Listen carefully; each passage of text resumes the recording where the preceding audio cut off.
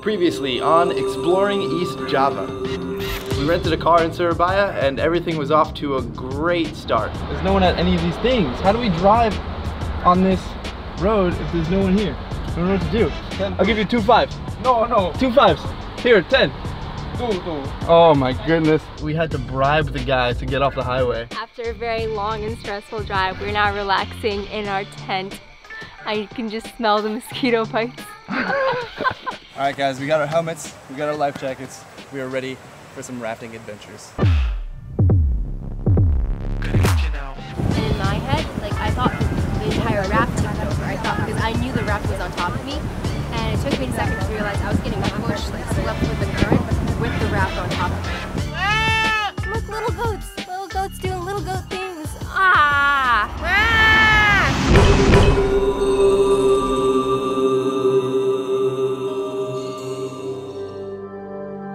This episode, we explore the fascinating area around Tumpak Sewu. It's in the region of Lumajang in East Java, Indonesia. Loosely translated, Tumpak Sewu means a thousand waterfalls, and when you see it up close, it definitely makes sense.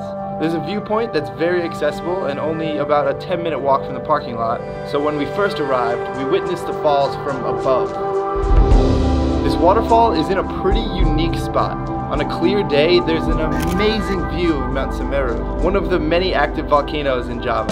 And this brings us right into a new segment I like to call Travel Trivia with Steve. Your question today, how many active volcanoes are on the island of Java? 8, 16, 25, or 45?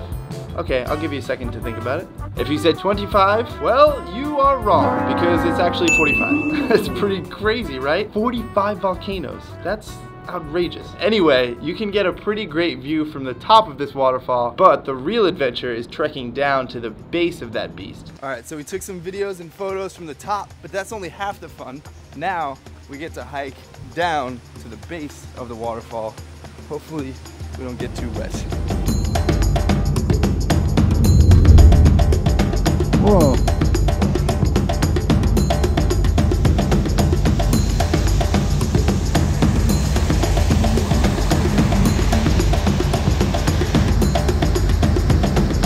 Just a heads up, if you decide to come down this trail, things will get wet. So we just made it down to the bottom after a treacherous walk down, and now we're very close. We're, we're right, we just have to turn one corner and we're at the base of the waterfall. But first, we have to cross this river.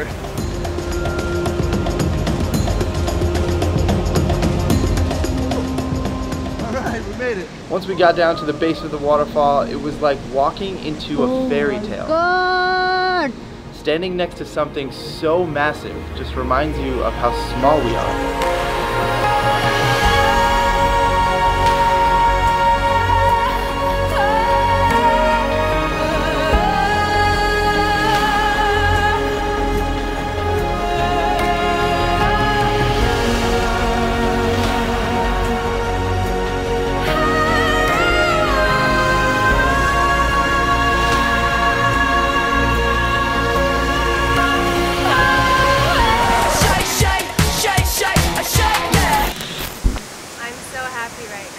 This is incredible. There's only one other couple here. They're from the Philippines, and we're helping each other take some photos. This is this is amazing. As if this isn't good enough, there's another waterfall just around the corner. We followed signs for a waterfall called Goa Tetes, or as I like to call it, Goa Titties. So we just got to a waterfall 100 meters away from the other one, and of course there's an entrance fee. It's 5,000 per ticket. So Thank you. Those are the main falls, I think. And then these are some really nice showers coming down. Showers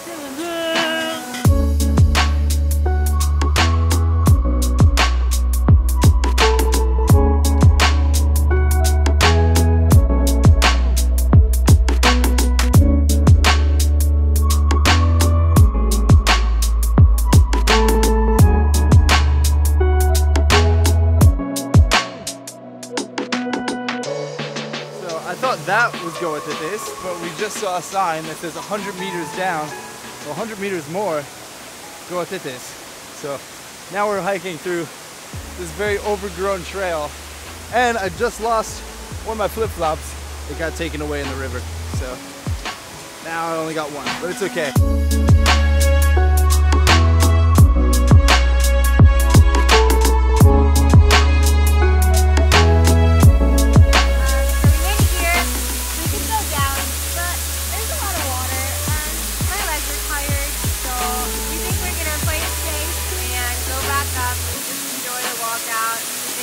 Fly the drone over Tumpak Sewu one more time and go home and have breakfast.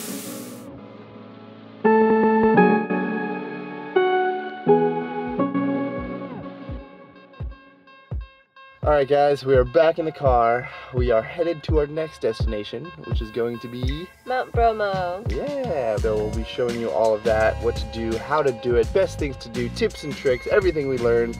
So stay tuned for that coming up. It's gonna be very exciting. If you're not already, go ahead and click that subscribe button and leave a like and maybe leave a comment. Let me know what you thought. Also follow us on Instagram as we're posting daily stories there so you can see where we currently are. And I yeah, I think that's it. So how about a little preview for what's coming up in the next episode. Oh, this is crazy. Madakaripura? It's down? Yeah. Oh man. Guys, welcome to the Cicada National Forest of Probolinggo. Those are some loud bugs. We're about to hop on this motorbike over here and head to Mount Bromo.